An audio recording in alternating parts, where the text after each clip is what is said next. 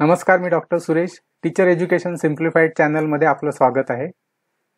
Online वर्ग घेतानाची काळजी.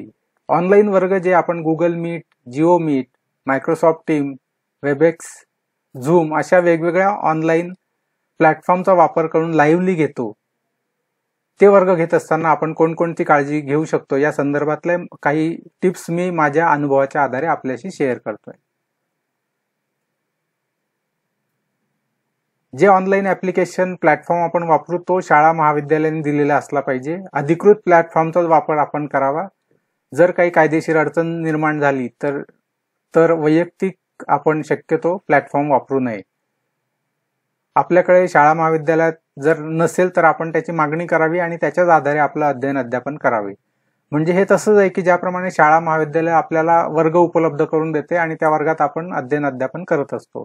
त्याच पद्धतीने ऑनलाईन वर्ग घेण्यासाठी सुद्धा शाळा महाविद्यालयांनी योग्य तो प्लॅटफॉर्म शिक्षकांना उपलब्ध करून दिला पाहिजे. ऑनलाईन वर्गाची वेळ विद्यार्थी आणि पालकांना सोयीची असली पाहिजे. काही काही विद्यार्थ्यांकडे स्वतःचे मोबाईल नसतात त्यां पालकांचे मोबाईल वापरत असतात. मग पालक आपल्या शाळेतील जे पालक असतील महाविद्यालयाचे विद्यार्थ्यांचे पालक असतील तर ते त्यांचं कामाचं स्वरूप काय आणि साधारणतः त्यांना कोणती वेळ सोयीची आहे याचा विचार करूनच आपण जी वर्गाची वेळ आहे ती निश्चित करावी. सर्व विद्यार्थ्यांना मोबाईल त्यावेळेस उप उपलब्ध वंचित राहणार नाही. ऑनलाईन प्लॅटफॉर्म जो आपण निवडलेला असेल शाळा महाविद्यालयांनी दिला असेल त्या तो कसा वापरावा याचे प्रशिक्षण विद्यार्थ्यांचे घ्यावे आणि शिक्षकांचे सुद्धा घ्यावे आणि ते काय करावे आणि काय करू नये याच्या संदर्भातली पूर्ण माहिती विद्यार्थ्यांना द्यावी तशीच ती पालकांना सुद्धा द्यावी.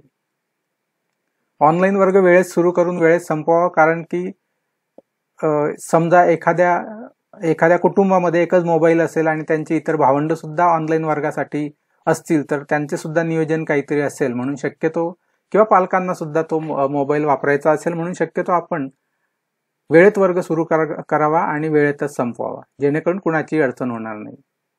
ऑनलाईन वर्गात ज्यावेळेस विद्यार्थी जॉईन करतात त्यावेळेस त्यांनी त्यांच्या नावाने जॉईन करावं ही आपण सूचना त्यांना द्यावी.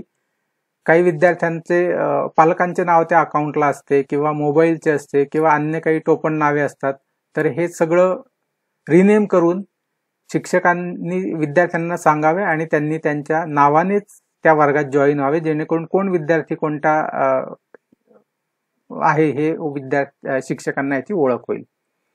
ऑनलाईन वर्ग सुरू झाल्यानंतर शक्यतो सुरुवातीचं काही मिनिटं विद्यार्थ्यांना व्हिडिओ ऑन करायला सांगावा जेणेकरून आपल्याला ओळख पटेल की कोणता विद्यार्थी कोणत्या अकाउंटमध्ये आहे आणि वर्गात कोणता बाहेरचा व्यक्ती तर आलेला नाही हे आपल्या लक्षात येईल. म्हणून शक्यतो सुरुवातीला व्हिडिओ ऑन करायला सांगावे आणि ओळख पटल्यानंतर मग आपण विद्यार्थ्यांना व्हिडिओ आणि मायक्रोफोन बंद करण्यास सांगावे. वर्ग सुरू झाल्यानंतर वेटिंग रूमचा ऑप्शन शक्यतो बंद करावा. म्हणजे आपली वेट आपली जी मीटिंग रूम असेल ती लॉक करावी. जेणेकरून नंतर कोणीही वर्गात येणार नाही. जर शिकवणे चालू असताना सुद्धा वेटिंग रूम चालू असेल मधून काही जण आहेत हे दिसत असेल तर शिक्षक कदाचित न बघता सुद्धा त्यांना ऍड करू शकतील कारण ते शिकवण्याच्या एका विशिष्ट लहीमध्ये असतील. म्हणून असे होऊ शकते की घाईघाईत न ओळखता सुद्धा कुणाला मीटिंगमध्ये ऍड केलं जाईल. म्हणून शक्यतो शिक विद्यार्थ्यांनी वेळेत जॉईन करावे यासाठी शिक्षकांनी आग्रह असावे. या ऑनलाईन वर्गामध्ये चॅटिंगचं जे सेटिंग असतं ते स्ट्रिक्ट असावं ते व्यवस्थित बघितलेलं असावं. त्यामध्ये विद्यार्थी फक्त शिक्षकांशी चॅटिंग करू शकतील असा ऑप्शन असावा. जेणेकरून विद्यार्थी विद्यार्थ्यांशी एकमेकांशी काही चॅटिंग करून त्यांचं अवधानाचं विभाजन होणार नाही आणि त्यांचं पूर्ण लक्ष हे अध्ययन अध्यापनाचंच राहील. विद्यार्थी विद्यार्थ्यांचं चॅटिंग ओपन टू ऑल ठेवलं तर विद्यार्थी एकमेकांशी चॅटिंग करू शकता पर्सनलवर चॅटिंग करून आणखी एकमेकांशी काही चेष्टा मस्करी चालेल किंवा आणखी काही अपशब्द वापरणे अशा गोष्टी पण होण्याची शक्यता नाकारता येत नाही.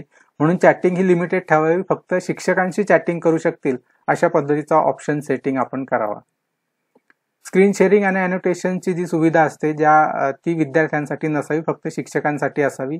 जर विद्यार्थ्यांना स्क्रीन शेअर करण्याची जर अध्यापन पद्धती असेल तर त्यावेळेस आपण तेवढ्या अध्यापनापुरता आपण स्क्रीन शेअरिंगचा ऑप्शन विद्यार्थ्यांसाठी ओपन करू शकतो पुन्हा तो बंद करू शकतो. एनोटेशन ज्याच्यामुळे आपण वेगवेगळे चिन्ह रेषा हायलाईट करू शकतो स्क्रीनवर ती सुद्धा सुविधा जर गरज नसेल तर ती फक्त शिक्षकांनी स्वतःसाठी ठेवी सर्व विद्यार्थ्यांसाठी ठेवण्याची गरज नाही. अन्यथा विद्यार्थी मुद्दाम एनोटेशन करून वेगवेगळ्या रेगोटा वळतात चित्र काढतात नकाशे काढतात आणि स्क्रीन पूर्ण त्यांच्या अॅनोटेशनने भरून जातं. म्हणून ही सुविधा शक्यतो विद्यार्थ्यांसाठी बंद ठेवावी.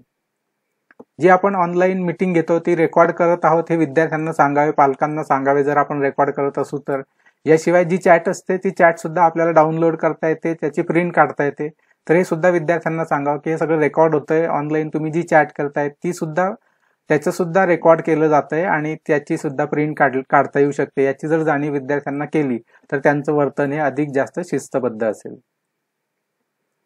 ऑनलाईन वर्गात आपण सादर केलेलं अध्ययन जे असेल ते अध्ययन साहित्य जे असेल ते शक्यतो अन्य मार्गातून सुद्धा विद्यार्थ्यांना पर्यंत पोहोचण्याचा प्रयत्न करावा. जर आपण पॉवर पॉईंट वापरलं असेल तर गुगल क्लासरूममध्ये आपण देऊ शकतो किंवा आपण व्हॉट्सअपच्या ग्रुपमध्ये शेअर करू शकतो किंवा युट्यूबचा व्हिडिओ आपण त्यांना पाठवू शकतो. जेणेकरून जे विद्यार्थी ऑनलाईन वर्गाच्या वेळेस अनुपस्थित होते त्यांना सुद्धा या संधीचा फायदा घेता येईल. आणि जरी ते त्यावेळेस हजर नसले तरी नंतर त्यांना हे अध्ययन साहित्य उपलब्ध होईल याची काळजी शिक्षकांनी घ्यावी.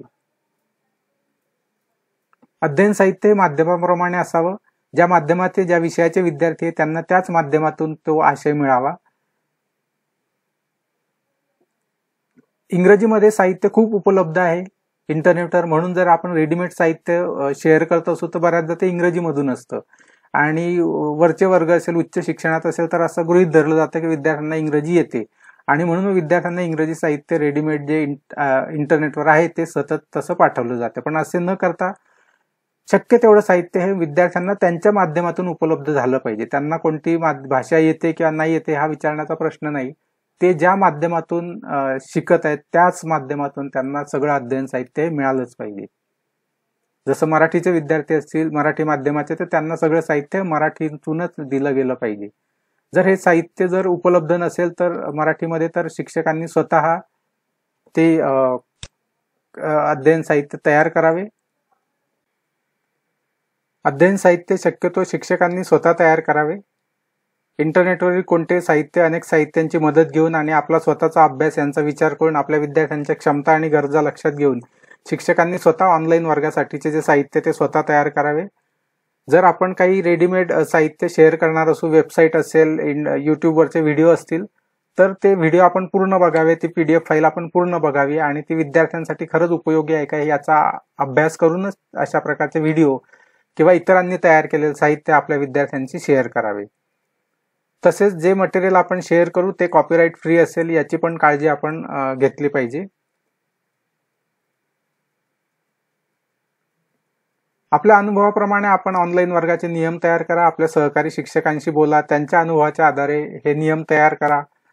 आपल्या शाळा महाविद्यालयाच्या प्रमुखांकडून हे नियम आपण तयार करून घ्या आणि हे विद्यार्थ्यांशी शेअर करा. पालकांशी शेअर करा जेणेकरून त्यांना एक कल्पना असली पाहिजे. हे सगळं ऑनलाईन वर्ग आपल्यासाठी नवीन आहेत विद्यार्थ्यांसाठी नवीन आहेत पालकांसाठी नवीन आहेत. त्यांच्यासाठीचे सगळे नियम आणि नियमावली ही विद्यार्थ्यांना माहिती असली पाहिजे पालकांना माहिती असली पाहिजे. त्यासाठी ती आपण शाळा प्रमुखांकडून त्याची मान्यता घ्या आणि त्याप्रमाणे त्याची अंमलबजावणी करा. अशा पद्धतीने आपले ऑनलाईन वर्ग हे अधिक विद्यार्थी केंद्रित होतील यासाठी आपण सतत प्रयत्न केले असले पाहिजे. धन्यवाद.